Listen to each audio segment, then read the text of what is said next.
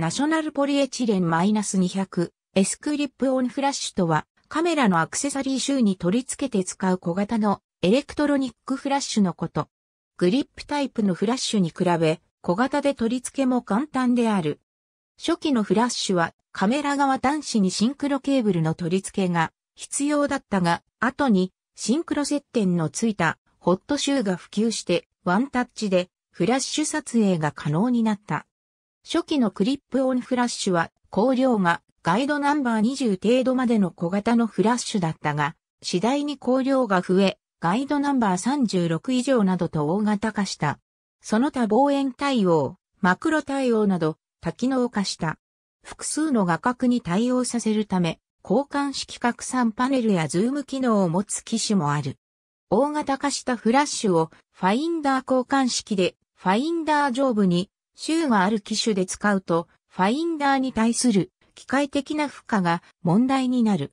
そのような場合は市販のブラケットで疑似的にグリップタイプとして使用することもできる。ただしこの場合はフラッシュをシンクロケーブルでカメラに接続する必要がある。ナショナルポリエチレン -200S の背面。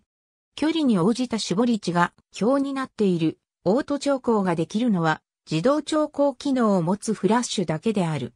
スタジオ撮影や集合写真などで使う大型フラッシュでは光量調節がマニュアルのみのものもある。初期のフラッシュでは光量が固定だったためガイドナンバーに合わせて絞り値を調整する。現在の多くのフラッシュではこれらの数値はフラッシュ操作部などで一覧表示されており、簡単な撮影の場合は暗算する必要がないようになっている。マニュアルフラッシュ撮影での露光計算の手間をなくすため、カメラ側に搭載されたフラッシュ撮影用自動絞り調節装置。フラッシュの指定する特定の絞り値に設定しておけば、レリーズを押した時点でフラッシュ側で被写体の距離に合わせて光量を自動的に調節する仕組みである。速攻部がフラッシュ本体に設置されているために、望遠撮影、マクロ撮影では大きな誤差が生じることがあって、超光対応ができない。この対策として、速攻部を取り外しレンズ先端に取り付けることで、マクロ撮影に対応する製品もある。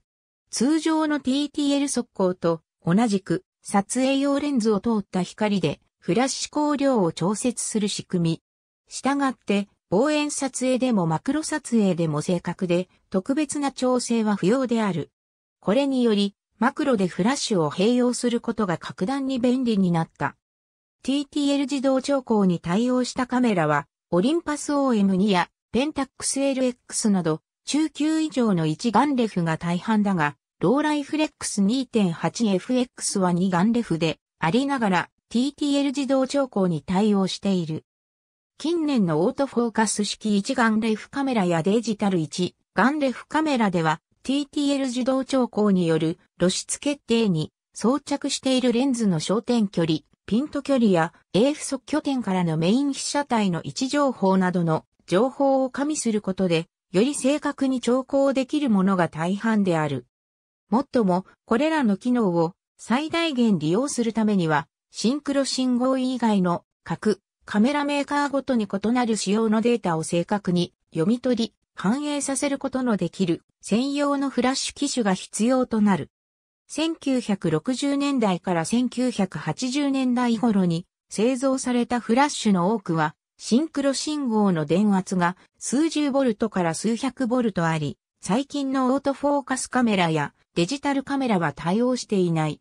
これらのフラッシュを新しいカメラに使うと、最悪の場合はカメラを故障させる恐れがある。機械式シャッターの場合、接点は機械スイッチであったため高電圧の影響は受けなかったが、現在のほとんどのカメラやフラッシュは電子的に制御されているため、信号電圧が数ボルトしかないことを前提に設計されている。したがって、旧式のフラッシュを新しいカメラで使用する場合は、メーカーに使用を問い合わせる必要がある。これは、クリップオンタイプだけでなく、シンクロコードを用いる場合でも同様である。ホットシューアダプターをカメラ側接点に接続して、ブラケットに取り付けると、アダプターをカメラから取り外すまでは、ホットシューのように使用できる。TTL 受動調光フラッシュであっても、当倍接写などではレンズが影になってしまい、対応できない。この場合は、専用のマクロリングフラッシュを用いる。スレーブユニットを使う場合や、全機械式のビューカメラなどで使う場合はこの限りではない。ありがとうございます。